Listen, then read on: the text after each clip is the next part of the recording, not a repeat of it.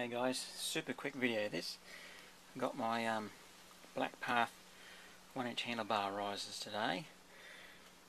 Um, very, very easy job to do. Two, there's two blacks that comes to two black caps that sit on here. Just pop them off, just a little screwdriver or something.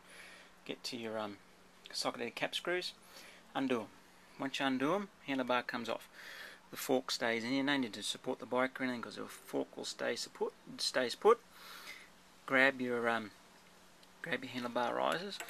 Check out which one lines up properly with the holes. As you can see straight down there you can see straight through the holes. The handlebar gets put back on. Two bolts go through. And when you put your bolts back on don't go nuts with um, blue Loctite. That's the medium strength stuff. Honestly you don't need it.